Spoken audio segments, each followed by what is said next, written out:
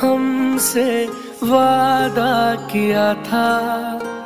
आएगा जो सावन तो